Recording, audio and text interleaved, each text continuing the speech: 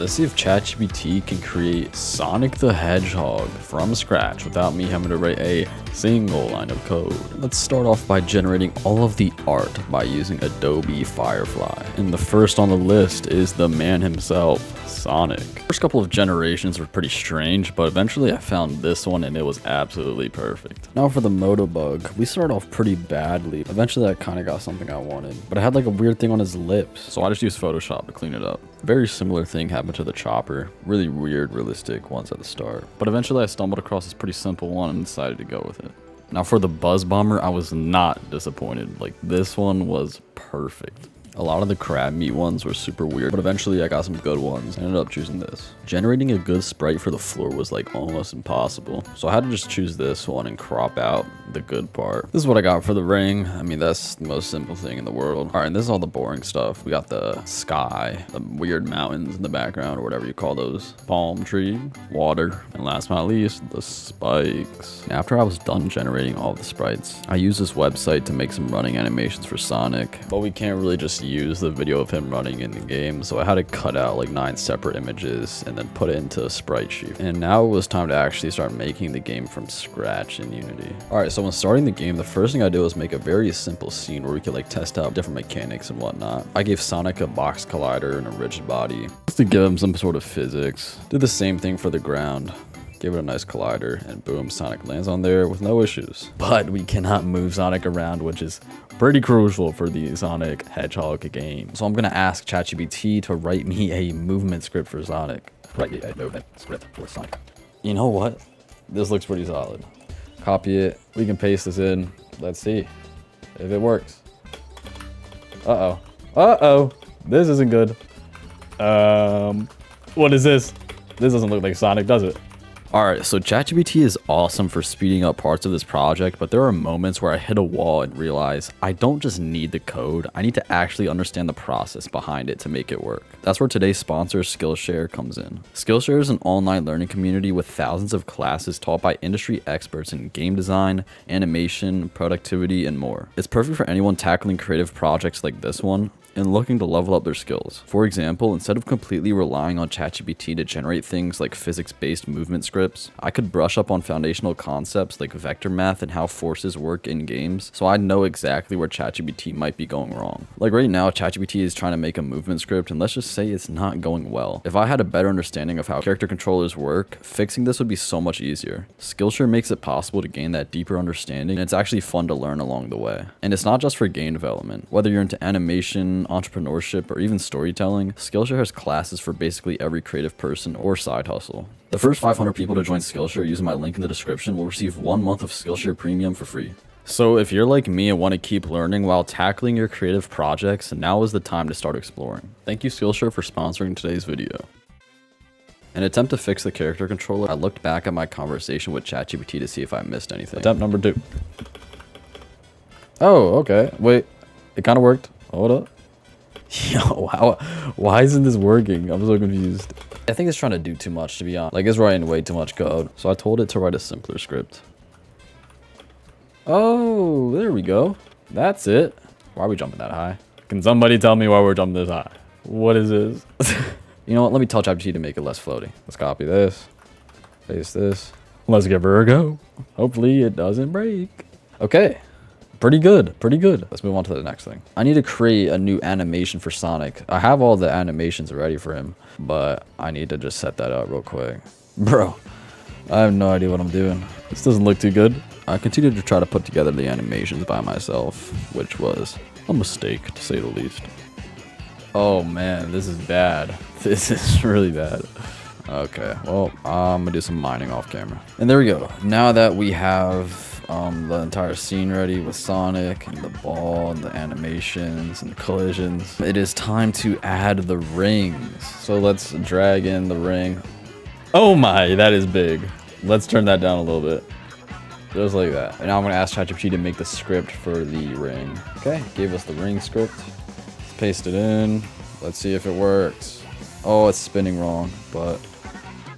Hey, we can collect it. Here's what the uh, fixed rotation looks like. You know, with all the rings and stuff, we need to make it so that the camera actually follows Sonic around and we don't can't just go off the screen like that. All right. Here's the script. It's pretty short, actually. I don't know.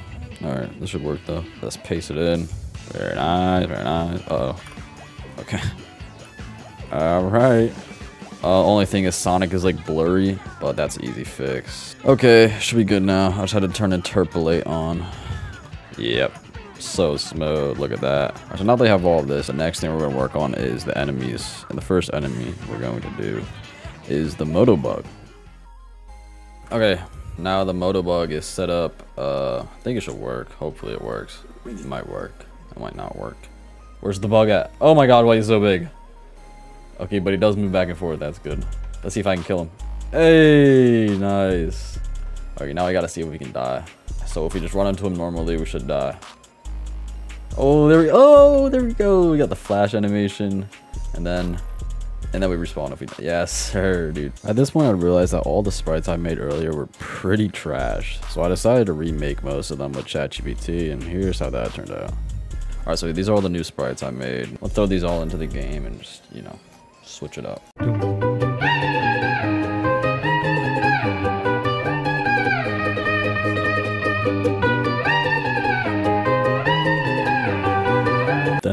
Unexpected happened. Yo, what is happening? What? What? what is this? Oh, all the environment was like a part of my camera. Okay, now that that's fixed, it's time to work on the spikes. Here's the script for the spike. Very, very simple. Base. Drag the spikes into the game. Decrease the size on that to about right there. Okay, boom. Oh, we take damage. Now we should die. Yay! Okay, so now that we have the spikes done, it's time to work on crab meat. This guy right here. Alright, so I'm gonna drag in crab meat, give a little box collider. Let's copy the script, paste. You also gotta get a projectile, so I went with this one. Scale it down a little bit, come on. Okay, now I should be shooting some bullets. So he was shooting bullets, but it really wasn't working. He's supposed to shoot two projectiles at once out of his claws, and they're supposed to fall down because of gravity. So I got ChatGPT to write a new script. Nice, bro. Nice. Okay, now it's time for the Buzz Bomber. So I'm just ask ChatGPT to write the script. Now this one's actually probably the most complex enemy. Copy this. Hey. that's a lot of variables. Hey, it's kind of working. The only thing is it's not actually doing damage. Made some adjustments and here is the result. Shoot me. Hey, okay, we take damage. Whoa, Sonic jumps pretty high. Alright, now it's time to work on the chopper. So we're going to go into the game and I've taken out one of the segments of the ground. Well, first let me add him in. And the bridge is right here. So yeah, they, they just come flying up and then uh, if they hit you, boom. There we go, it's all pasted in right here. Alright, let's see if it works. Bro, that's awful. I mean, it works, but that is so non-smooth, bro. Oh, yeah, sine wave. That makes sense. Okay, now I know this will work. Let's give her a go, shall we? Okay, okay. A little better. I mean, that is, that's, that's fine, yeah. Whoa. Oh, all right, yeah, we got hit. And then we died. Very nice, very nice. And you can't, you can't kill these guys. Oh, and I just killed them. Wait. Okay, now they should be unkillable. Yes, nice. And we still take damage. Now that I have all the mechanics and whatnot, I'm gonna design a level that's actually pretty decent and not just this.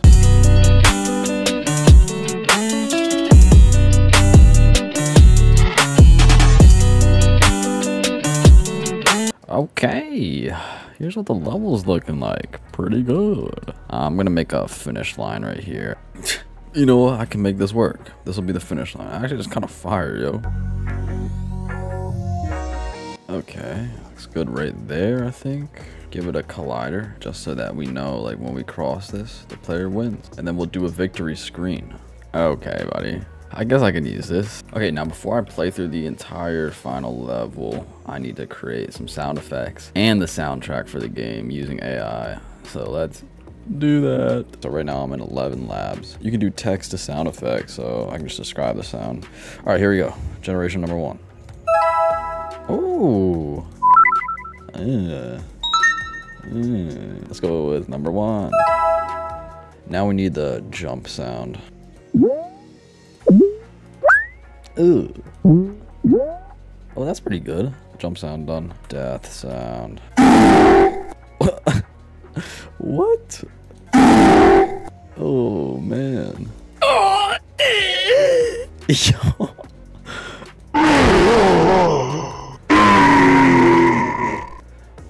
Honestly, my favorite one's gonna be number two. Alright, now we need the damage sound effect. What? That's not a damage sound effect. Alright, these should be better. That's probably the best one for taking damage. The original Sonic the Hedgehog, there is a sound effect when you drop your rings that you can hear them all bouncing off the ground and stuff. And it kind of sounds like money hitting the floor. So this one is perfect. Alright, so now I'm in Suno where I can create the soundtrack for the game. And I'm going to ask ChatGPT to describe it for me. Okay, I guess I'll take this, paste it in, and create. Oh wait, I don't think this is instrumental. It's going to be a straight up just song, bro, with lyrics probably. That's not good. Oh, hold up. Wait.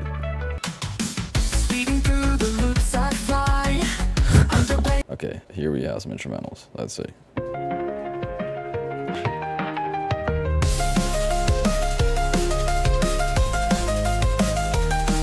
Good. Yeah, the soundtrack was surprisingly good. But anyways, here's some footage of the final game.